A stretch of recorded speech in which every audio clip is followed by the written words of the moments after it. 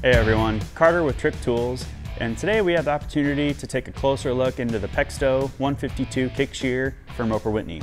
The Pexto name has been around since the late 1700s and is known for their classic styling as well as their precision and durability.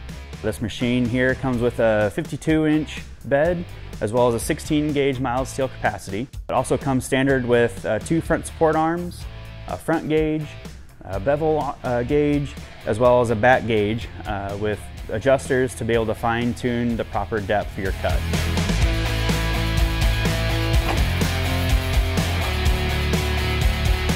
This machine features a cast steel construction as well as many points of adjustment including the bed, the cutting head, as well as the blade gap to ensure that you're getting the best cut possible in a lifetime of use.